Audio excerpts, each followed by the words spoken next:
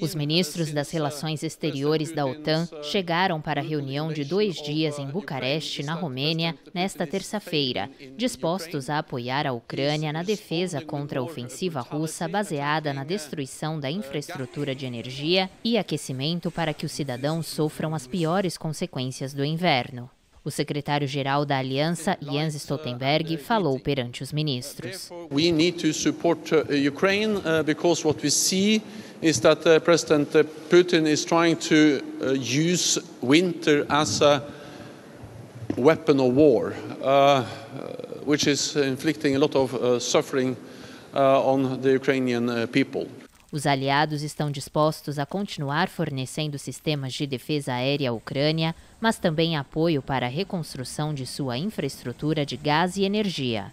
Em seu discurso inicial, Stoltenberg lembrou dizendo que o exército russo mantém capacidades importantes e um grande número de tropas e que está disposto a usar brutalidade extrema e deixar a Ucrânia no frio e no escuro neste inverno. Por isso, os aliados devem manter o curso e ajudar a Ucrânia a prevalecer como uma nação soberana.